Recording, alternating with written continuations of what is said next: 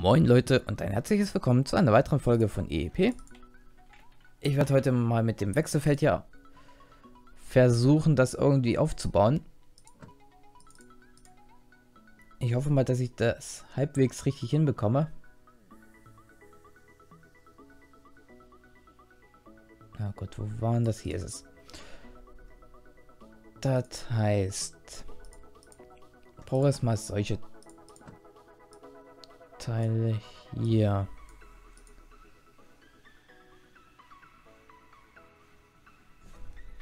Gut, dann fliegt er erstmal raus. Und dann noch dieses Dreifeld.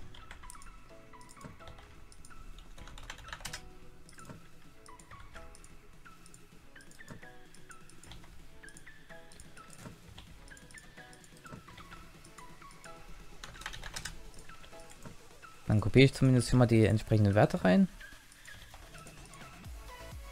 Wow. Das hat den einfach dorthin verschoben, obwohl... Ah ne, Moment, die muss ich ja noch untereinander tauschen. Ne, Moment. Das war gewollt, aber nicht gekonnt.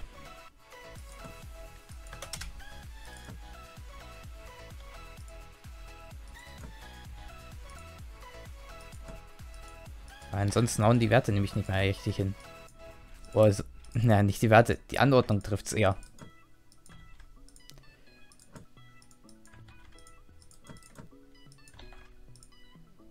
Das heißt, im Moment arbeite ich hier wirklich nur mit Kopieren und Einfügen. Ich stöße es mir wieder auf. Das heißt, die Verleitung führt hier gerade durch. Das heißt, er kommt hier so an die Seite dran. Kurzer Blick in 3D.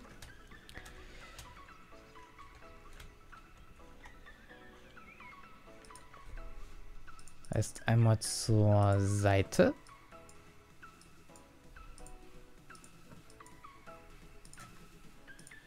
Und hoffentlich sieht er auch noch was Gescheitem aus.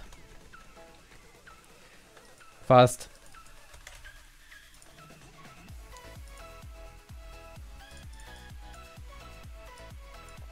Jetzt sieht es noch was Gescheitem aus.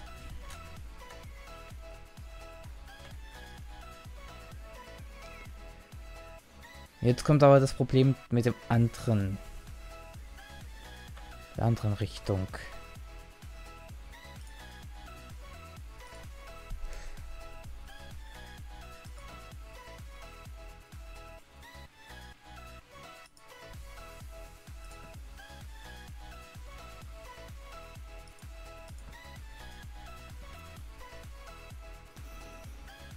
Aber Problem ist nämlich, es gibt hier keinen parallel geführten für den Bereich hier.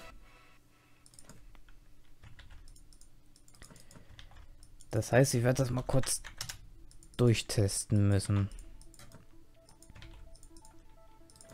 Ich sag's mal so, mehr als dass es blöd aussieht, kann nicht passieren. Das sind die einzigsten Möglichkeiten.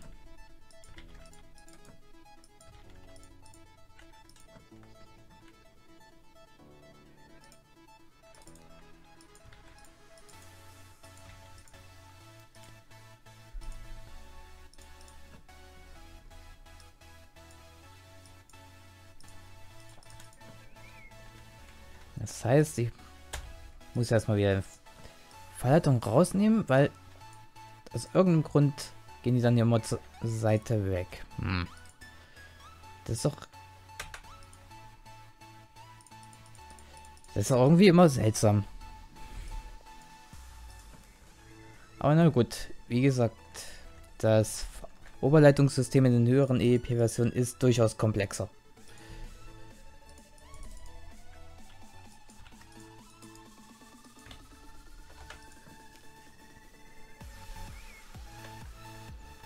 Und jetzt habe ich nämlich das Problem. Es wird nämlich nicht so schön aussehen wie hier.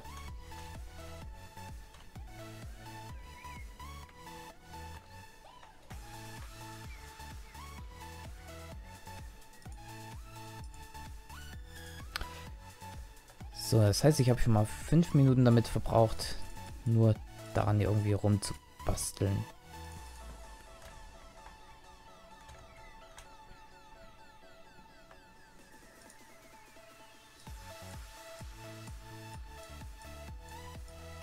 Kommst du mal zur Seite rüber?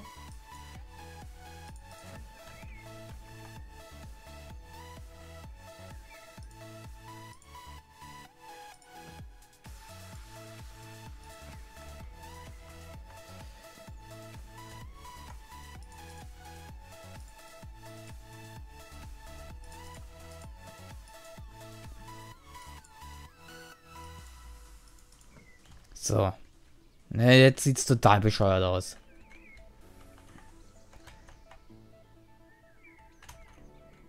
Und das auch nur, weil es so ein Teil für den Masten hier nicht gibt. Gibt es für einen Betonmasten, aber nicht für Gittermasten, ne.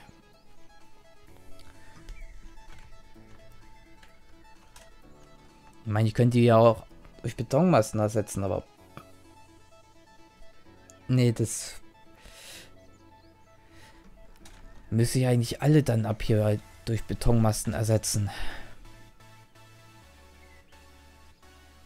Mann.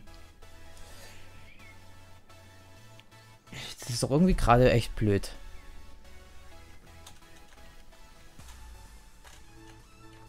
Auf der einen Seite geht's, aber auf der anderen Seite sieht es ja total besch bescheiden aus.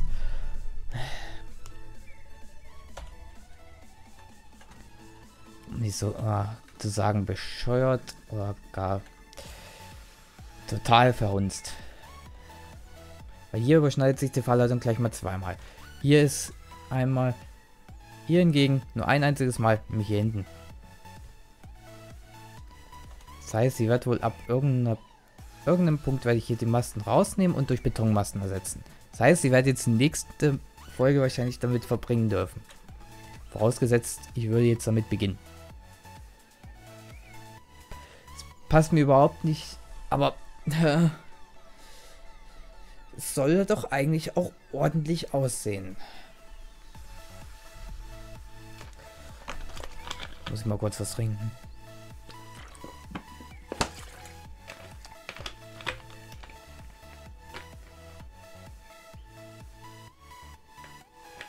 So. Kann ich eigentlich auch schon wieder zum Blumengießen verwenden.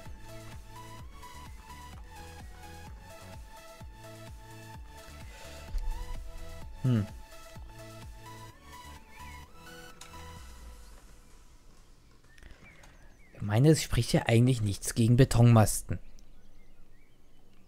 Eigentlich. Das Problem ist, es spricht schon ein was dagegen. Da fällt das Argument eigentlich schon mal raus dass er nichts dagegen spricht, weil es müsste jeder einzelne Mast, sagen wir zum Beispiel ab hier kurz vom Kurvenbeginn, sagen wir mal ungefähr hier oder nee, hier am Signal.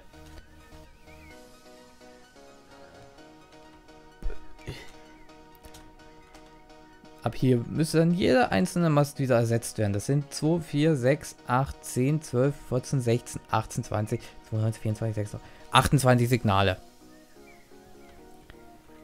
Das heißt 28 mal 28 komplett neue Fahrleitungsmasten.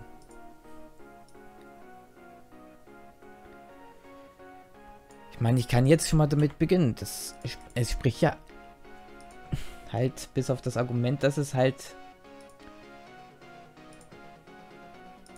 etwas mehr wird. Halt eigentlich nichts dagegen.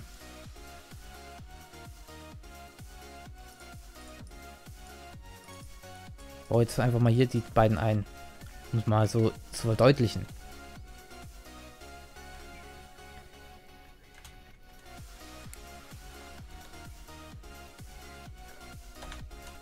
Also Beton oder eher Stahlgitter, also da bin ich mir noch nicht so unschlüssig.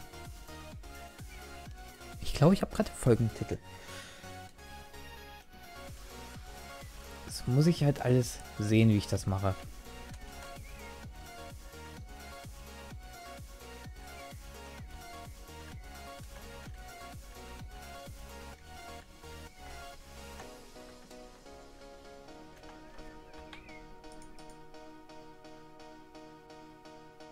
Ja, ich möchte, dass du erstmal speicherst.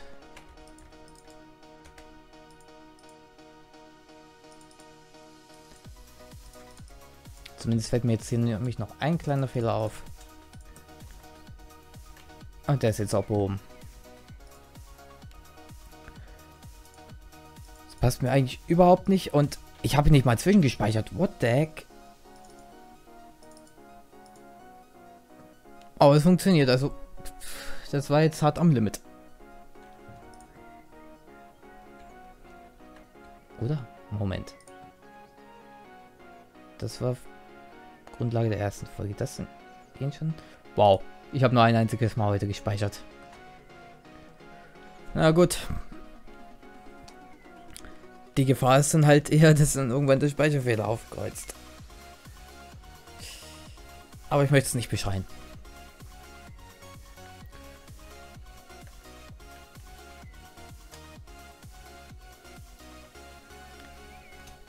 Heißt, jeder einzelne Mast durch Beton.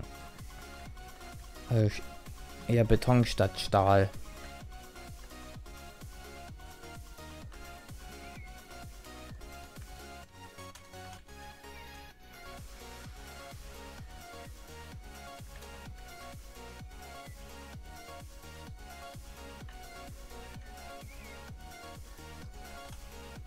Äh, jetzt muss ich mal kurz überlegen, die Kurve hier.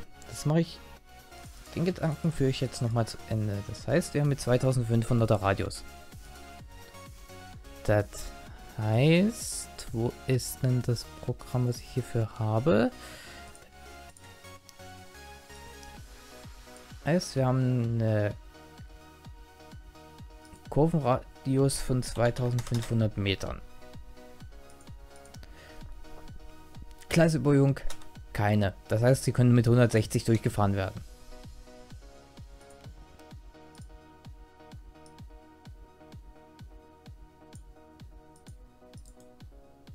Wir haben 1800er.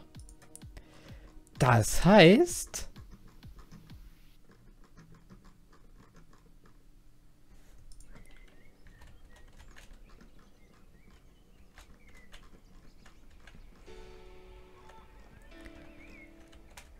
Das heißt, ich kann hier eine Stelle einbauen, an der Züge wieder beschleunigen können, dass sie halt vor der Kurve abbremsen müssen.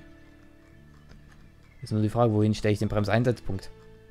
Wahrscheinlich mache ich das dann hier von dem Vorsignal, dass dann vor dem Vorsignal jetzt dann halt die 140 stehen. Und dann halt... Oder halt mit Beginn der Kurve. Oder? Moment.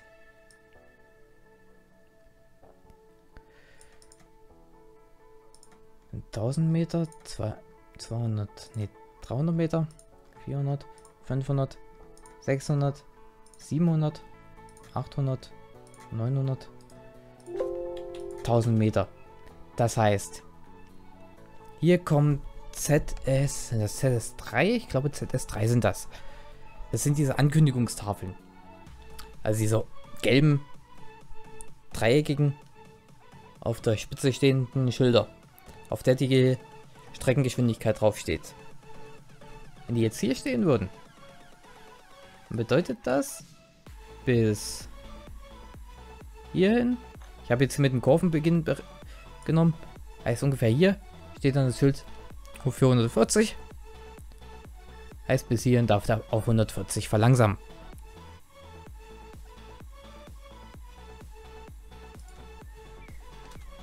Das heißt aber auch wiederum, ich brauche noch auf den Fahrzeugkontaktpunkt, aber das ist kein Problem muss ich dann alles in der nächsten Folge dann mal schauen. Aber zuerst mache ich das mit den, der Fahrleitung, dass ich das jetzt in Ordnung bringe. Gut. An dieser Stelle war es dann erstmal. Ich bedanke mich fürs Zuschauen und tschüss bis zur nächsten Folge von EEP.